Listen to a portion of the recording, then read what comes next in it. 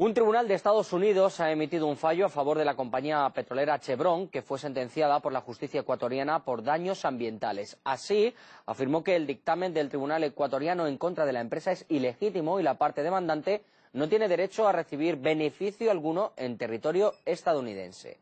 La justicia ecuatoriana había sentenciado a la petrolera a pagar una indemnización de 9.500 millones de dólares por daños medioambientales. No obstante, Chevron sostuvo que el fallo en su contra fue ganado a través de fraude, soborno y colusión con funcionarios judiciales corruptos.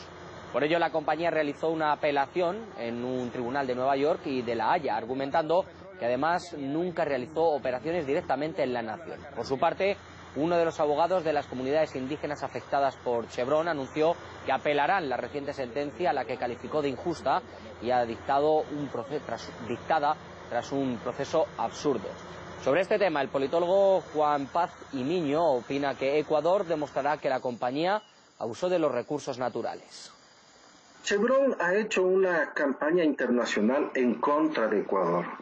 Y el Ecuador está seguro de que con su verdad y teniendo un gobierno que va a respaldar decisiones de sus jueces y a llevar al mundo la conciencia de verdad sobre la explotación de petróleo y la destrucción de la Amazonía ecuatoriana, esta verdad que el Ecuador la da al mundo, hará pues que se vea muy bien la situación de Chevron Texaco como una compañía que en Ecuador abusó de nuestros recursos naturales y se niega a indemnizar a las poblaciones que le han demandado.